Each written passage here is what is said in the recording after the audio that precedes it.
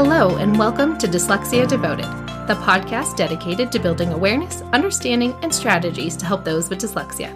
I'm your host, Lisa Parnello, dyslexia therapist and founder of Parnello Education Services. Join me as we dive into today's episode of Dyslexia Devoted. Happy 4th of July to all of my American listeners. And I know I have listeners from all around the world, which always amazes me when I see where you guys tune in from. I don't see who exactly is listening. I don't know anything personal about any of you, but it shows me what countries people download episodes from. And I always love seeing the different places you guys tune in from. Here in the States, it is 4th of July where we celebrate with lots of fireworks. And since it falls on a Tuesday this year, a lot of us have a four day weekend. So I've been pretty lazy. I normally record this episode on Friday. And if you've ever met me, I'm actually the least lazy person ever.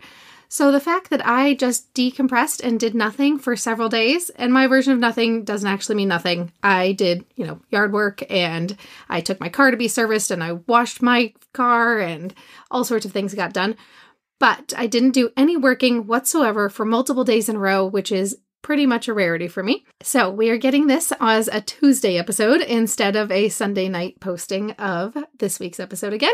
Clearly, summer fever has hit me since this is two weeks in a row that I'm posting later than normal, but I figure you don't mind, better late than never, right? Later tonight, I will be watching the fireworks from my front porch. No, I will not be setting any of them off because that's terrifying. There is a amusement park not that far from where I live, and they set off a big fireworks show every year.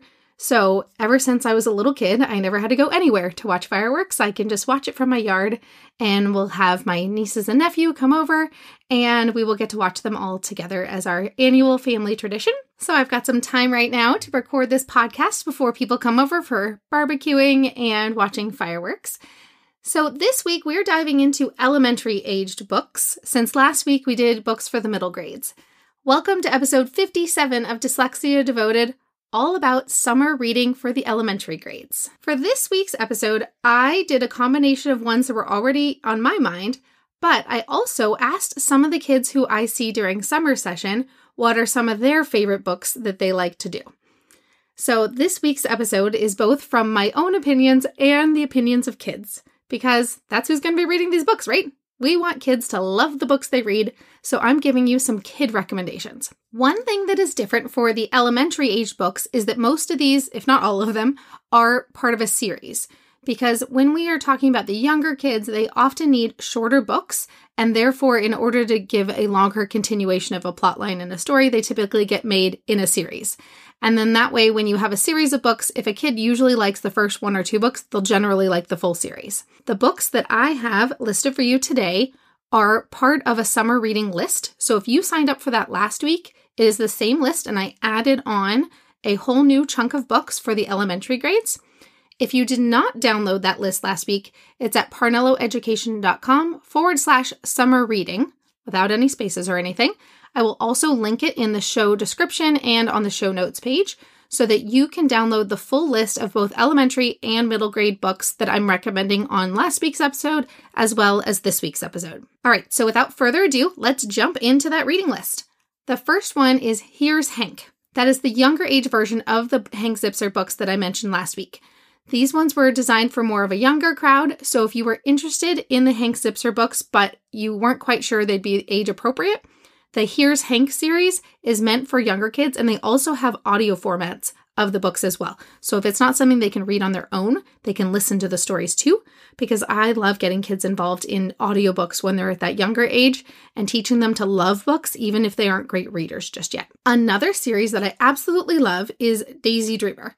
Now, this book has more of a girly feel to it on the covers, but as the boys have been reading it, they actually tend to really enjoy the book. So if you can get the student or child to not judge a book by its cover, it is full of imagination and creativity. And the Daisy Dreamer series is a really great first chapter book series. They have a good use of imagination and vocabulary, but they also keep including some of those pictures that help add on to the story so the kids don't feel quite so overwhelmed when you take away all the pictures. This one has a nice balance of having good pictures, but they can't just use the pictures to guess the story. They really do have to read the words. And so I find this one to be a really good series for early chapter books. I really wish I found a more masculine style book of the same reading level, but I've yet to find a good one. So just know that the cover of the very first book is pink. So every once in a while, some of the boys will say, like, oh, I don't want to read that. That's a girly book. So, as much as I try really hard to teach kids there is no such thing as boys and girls things, everyone can love everything. But sometimes you have some of those tough boys who won't touch anything pink. Just to warn. All right, so next up is one that is a long loved series that I'm sure many of you have heard of, but in case you haven't, the Magic Treehouse series has two kids traveling through time using a treehouse, and they follow the clues to find out who the treehouse belongs to, and they learn a little bit more about that person as they go along in each book. This series of stories tells about all sorts of things that happened in history that kids tend to love to learn about, such as dinosaurs, ninjas, knights, and each book has a different theme to it depending on what time period they're traveling to. And kids always love to either read these books or listen to them. I've only had a couple of kids who don't like them. Most of the time, kids absolutely love it because it has a good mixture of fantasy and real things that happened in history. Another series I've told you guys about before, but in case you haven't heard that on some of my previous episodes, is Flyleaf Publishing. They have decodable books that are currently free for the digital version or you can buy them online and get the printed books if you don't believe in having too much technology time. And those ones, the kids can sound out every single word on the page and slowly move up in the levels as they get better at sounding out words. Another series is High Noon Books, and they have a couple different kinds of series one of which is high interest and lower reading levels. So they talk about more mature topics and more interesting things meant for older kids, but the reading level is not as high. So they aren't as overwhelmed by some of the text and they can still sound out the words. They also have a series of phonics and decodable books as well. So check out High Noon Books is another option. One of the ones that was voted for by the kids is the Diary of a Wimpy Kid series. The kids love this series. Parents don't always think it counts as reading, but it actually has a pretty good balance of pictures and higher vocabulary words, and the kids just love the stories because they're funny and sarcastic. And kids of all ages, anywhere from about second or third grade up through middle school, tend to love the Diary of a Wimpy Kid series. So that is another awesome choice that the kids absolutely love to read. And so when you just see Diary of a Wimpy Kid is very clearly targeted towards children buying the books, not parents. But the kids love it, and I've gone through the books. There's never anything overly inappropriate or anything like that. And the kids absolutely love the sarcastic jokes that go along the way. I will hear kids giggling even as they're reading it in their heads. It's adorable. Another very popular set of series are the Dav Pilkey books. And when I say Dav Pilkey, he is the author. That is not the name of the series. He has many, many series that are all graphic novels.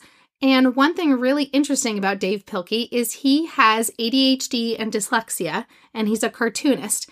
And so I find that to be really great for kids to see people who learn like them get to be absolutely successful people and can become writers that create books to go from having dyslexia to writing books is pretty fantastic. And so those graphic novels can be a lot less intimidating for our struggling readers because they find them very enjoyable and they see all the pictures and they don't get quite so overwhelmed. And then another set of books that was recommended by students when I asked them last week was the What If You Had series. And yes, I know that's an incomplete sentence. Each book has a different theme to it. So it would be examples like What if you had animal ears? What if you had animal teeth? What if you had animal feet?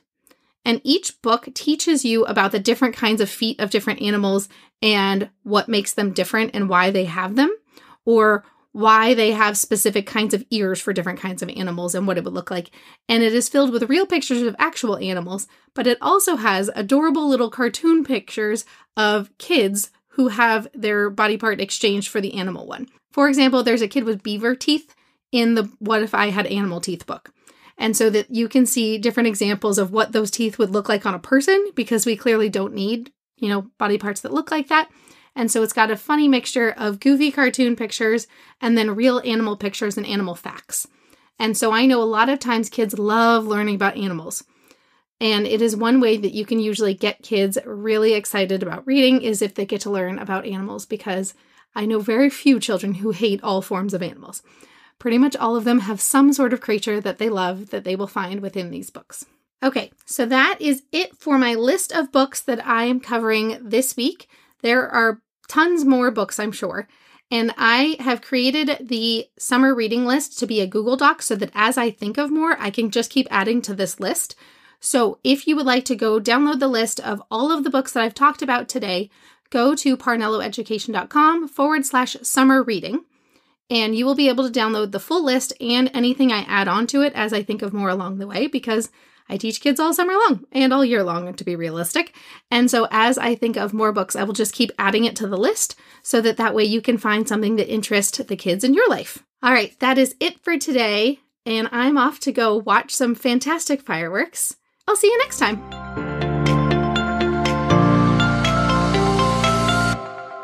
Thanks for tuning in to today's episode. If you want to learn even more about dyslexia, check out parnelloeducation.com forward slash courses. See you next time.